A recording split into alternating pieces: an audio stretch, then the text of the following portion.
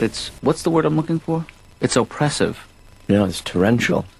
It's torrential, but the word I was looking for, Ben, Hmm. was oppressive. Just like four days in a row, you think it's never going to end. It's uh, it almost makes me uh, just want to stay inside all day. My dad used to say, if the rain keeps up, it won't come down. Hmm. Not a funny guy. Ben, I gotta get going. If, if it's for me, I'm not here. Hello. Uh huh. Cheers, right here. Dad's for you. Ben, I just. Uh, hello? David Stanek. I haven't heard that name since, uh. Not only do I remember what you look like, but I can picture your backhand like it was yesterday. You are. No, David, I, I, uh, I would love to get together. It'd be fun, you know, and maybe you want to stop by the office. We'll grab a bite, reminisce. Uh, we could do that. But, uh, you know, I have to warn you, I haven't played in um, at least 12 years competitively. So if you just want to hit some, we don't have to keep score. Yeah. Now, that's, you know, I, you know, if you've been playing and, you, and you're really looking for competition, you should just go to the club and try to pick up a game.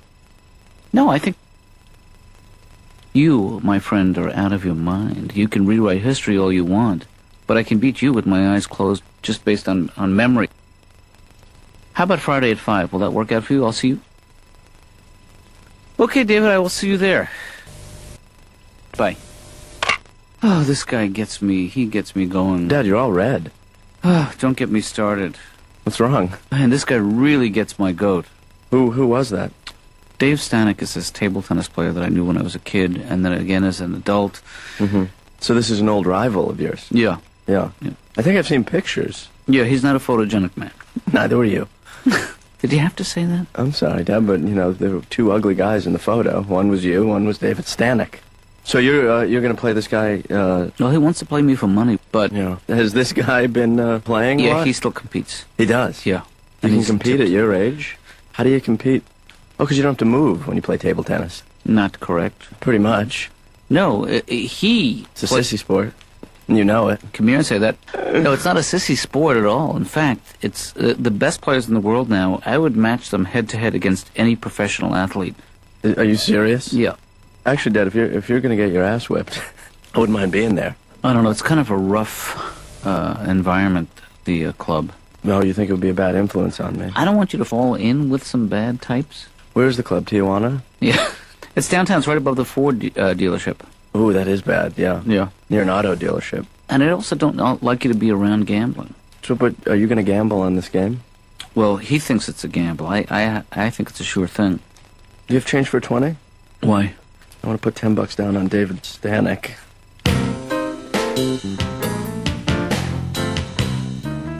So your early experience as an employee was not satisfying. Well, I was a temp. And the bad thing was that I didn't have any skills. So I would go to the temp agency and I would say, I need to work. I've got to put meat on the table. Right. And then they would say, Well, what can you do? And I would say, Well, I can't do anything, but I need to work. This is bull. I can't be walking around here without a job. I was a full time baby furniture salesperson, Mm-hmm. which, you know, I didn't do too well at because I don't like children Oh, I didn't realize that. or babies or the furniture that they claim they need. But still, it was good to be bringing in some uh, some money. I bet. Yes, and that was a commission job. Mm-hmm. You know, I was always trying to scoop the other salespeople. And one time a couple came in. Well, this would often happen. The couple would come in with their baby. If I saw that another salesperson was trying to nab them, I would just grab them and say, look, if you think he thinks your baby is cute, I think your baby is adorable. What would you like? This baby should have a print campaign to beat the band. This baby is a baby that's going to sell tickets. This baby needs a stroller. And then I close. That is beautiful. And sometimes I would take it too far. How so? I would say this baby makes that baby look like a ghoul or a living gargoyle. Dr. Katz's office. Hello? Could you make it quick? Um, I need the phone line. what are you doing? I'm trying to win tickets to the opera. On the radio, and I need the phone. I need all three lines. Are you trying to win opera tickets? Yes. Really? Yes. Why? Because I like opera. It's Aida. Oh, Aida's on. Yes. I love that one. Really? What, Aida? Yeah. What do you like about it? Uh, the uh, Aida is great in it. Do you know what opera is? Yes, I think I do, Laura. I grew up on it. All right, hold on.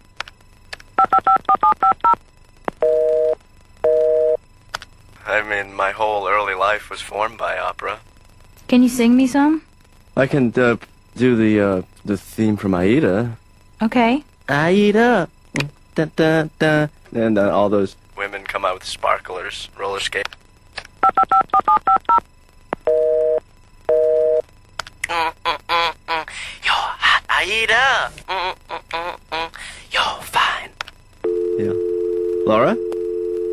And then when I was when I was a bus girl, my worst night was when this old woman came into the pie shop, and she had a piece of peach pie, and she seemed very very content. Mm-hmm. And then the minute she finished her pie, she puked it all up right onto the dish. But she had no reaction. Like you know how when you vomit and you think you're dying and you're sweaty and red. Right. She just finished her pie and calmly vomited it all right onto the pie dish, and then slowly got up and just paid her check. And then all the other waiters looked at the new girl, that was me, and they said, "We'll give you an extra five bucks if you clean up the puke."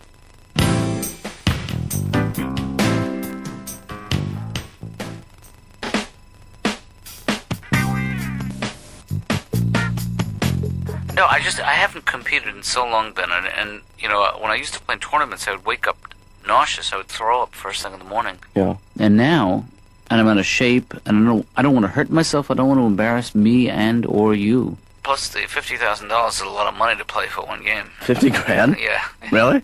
Yeah, he called.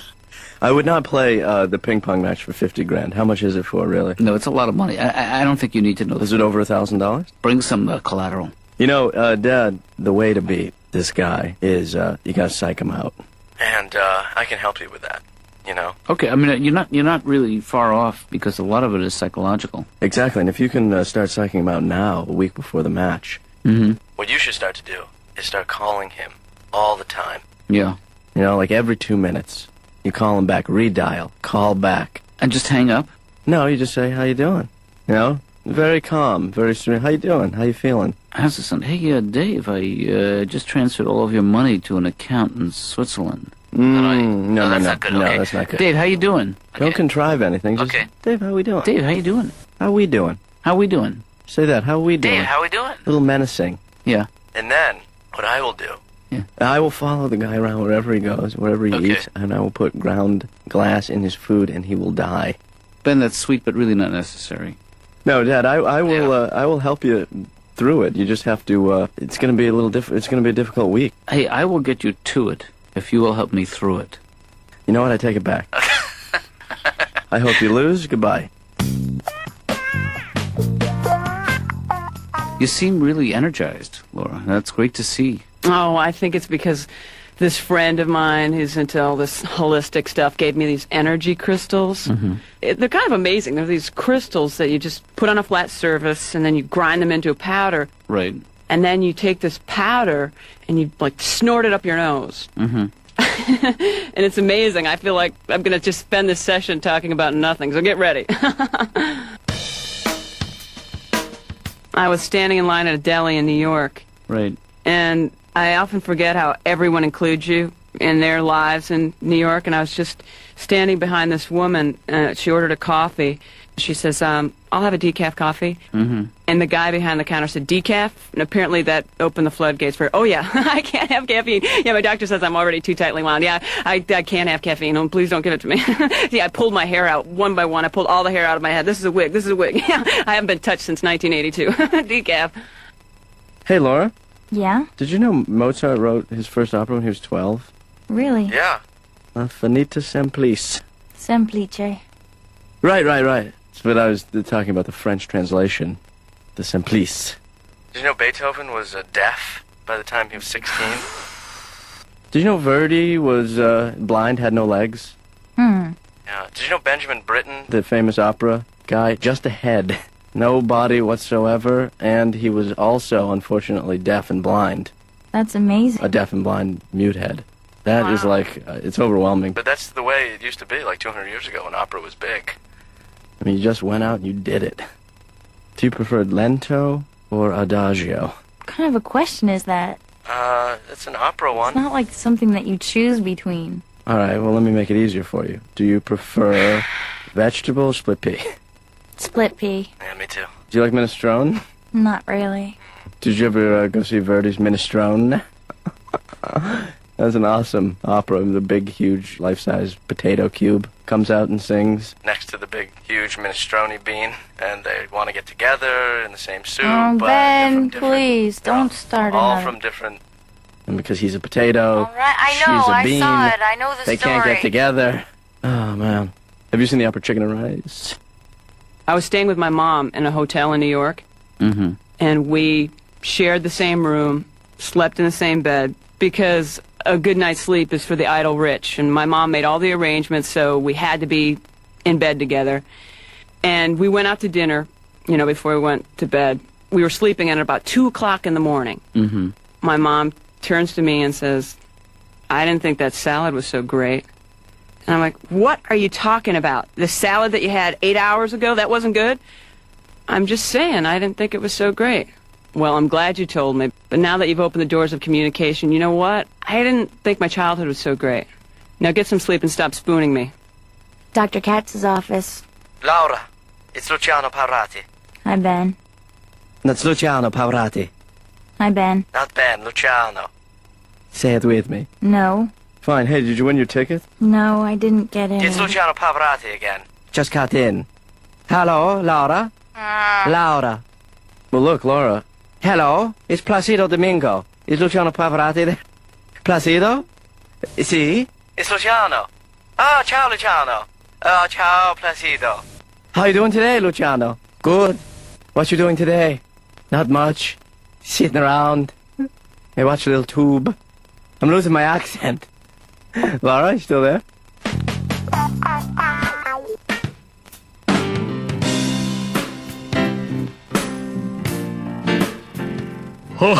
Come on, Dad, get up. Ben, what Right? what is going on Let's here? go. Come on. Here we go. Ben, are you? We ready or what? We ready for the day? I, what time is it? It's, it's time to get up. It's time to start training. My feeling is that your reactions have probably faded over the years. You know, you're not uh, the same man you were 30 years ago. You probably can't handle. I'm sorry, beg your pardon. You don't have the same hand-eye coordination. Can you hear me? Yeah. Yeah. you probably don't have the same hand-eye coordination you used to. That's why I figured if I get you up and start training you every day, Mm-hmm. you know, you get the old reactions back. You get the uh, the eye of the tiger. You know. Mhm. You get that spirit of comp. Dad, you're sleeping.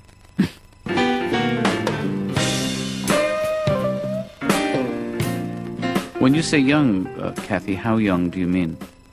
I went out with one guy that was so young he still lived at home with his parents. Mhm. His mom and dad would encourage me to just take him in, like a boarder and also a slash boyfriend. I helped him find his first apartment, and uh, he he got a bill, and then he handed it to me with just big wide eyes and said, "What do I do with this?" I don't. I don't really follow. Because he didn't have a checking account, so he'd never written a check before. Ah. Yeah. Now you'd think something like that might be special, you know, between two people. Oh, our first check. It was irritating. So that one didn't work out so well. How old was this guy? 25. And I'm, um, not. So you can do the math. Right. You know, I guess what I really need to look at is the pattern of suitors I've had. There was this other guy that I went to Italy with. I took a trip to Italy. You know, I loved it. It is beautiful. I fell in love with Venice. I thought it was the most beautiful city in the world. And my boyfriend at the time, Neil, said that he thought that what they should do in Venice is that they should drain the canals because a lot of people probably drop their sunglasses in there. Do you know what I'm saying? He didn't get it.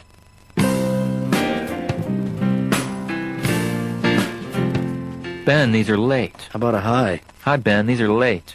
Thanks. Long time no see. It's you're kind of overdue for a visit if you catch me. Well, well, what do you mean? I was here two days ago. Those late fees, you know, they're the lifeblood of Vic's videos. I mean, Yeah. they're our bread and butter. Uh, Well, I just I don't understand why you charge a full night's rental just because shouldn't you give a discount break? The idea of the late fee is that it's a punishment. It's a fine. It's a severe fine Right. I for mean, a severe crime. but is it is it that severe? Just you know. In the context of a video store, yes, it is. Right, Is it like murder or anything like that? No, not at all. Not at all. Yeah, because I'm usually not late. It's ten bucks. Are you serious? I'm Ten- serious. Ten dollars.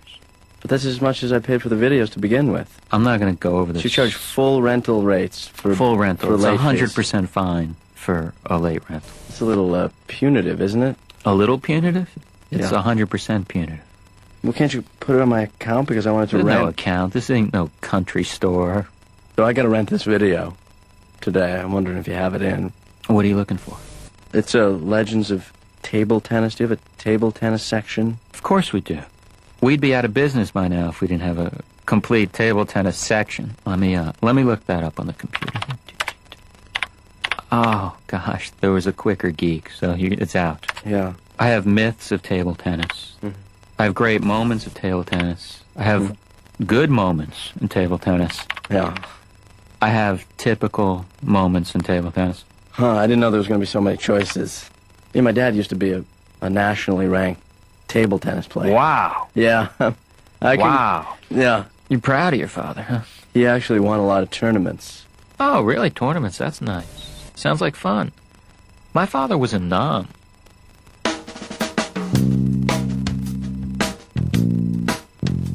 I called this friend of mine who now has a, a four year old, and it's really hard to talk to her because every time I call, you know, just to see what's up, I go, Hey, Carol, how's it going? And she goes, Oh, just a second. Jacob wants to say hi to you. Jacob, say hi. Say hi, Jacob. Say hi. Honey, say hi. Say hi to Laura. Say hi. Jacob, say hi. Say hi, Jacob. Say hi. Jacob, say hi. I'm like, Oh my God. So at some point I hung up the phone. Mm-hmm. She called me back. She goes, What happened? I go, Oh, that's my daughter Katie. She just hung up the phone. Oh, I didn't know you had a kid. Yeah. Katie, say hi. Say hi, Katie. Katie, say hi.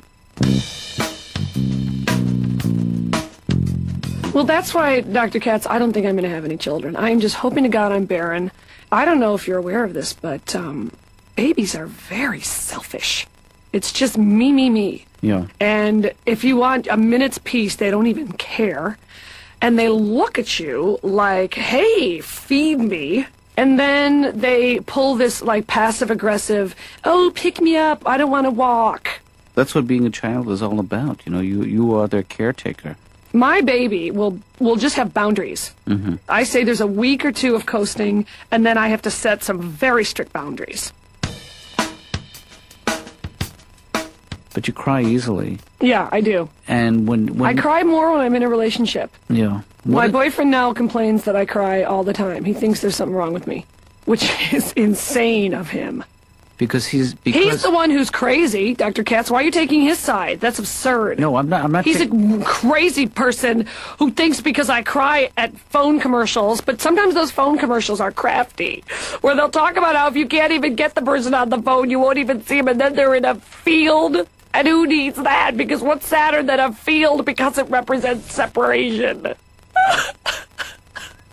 Why are you being just so condescending with no, me? No, I'm trying to comfort you. It's, you know, you're not letting Oh, me I'm comfort getting you. heaves. Oh, oh, God. When I cry really hard, I get the heaves. Oh, oh, oh, oh, that was cathartic.